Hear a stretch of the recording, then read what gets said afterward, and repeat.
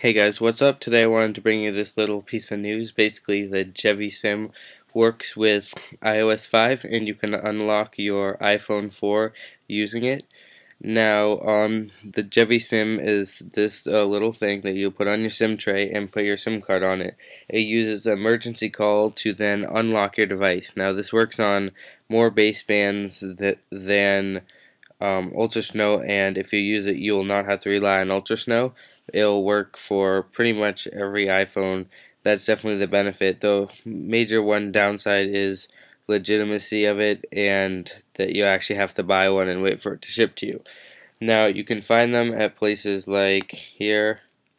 You can just Google it if you don't uh, want to use this. the first place I found. Basically, you can buy them for like 20 to 30 dollars it would be probably worth it if you're the type of person that likes to jailbreak or unlock and updates frequently because it works. Um, I've heard a lot of people saying it works very smoothly. Now, what you do when you have them is just a few steps, and it will be included in the instructions that they send you.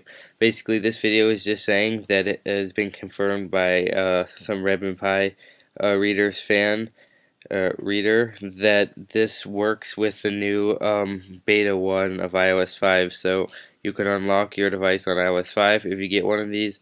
That's pretty much it and I'll see you guys as soon as anything gets updated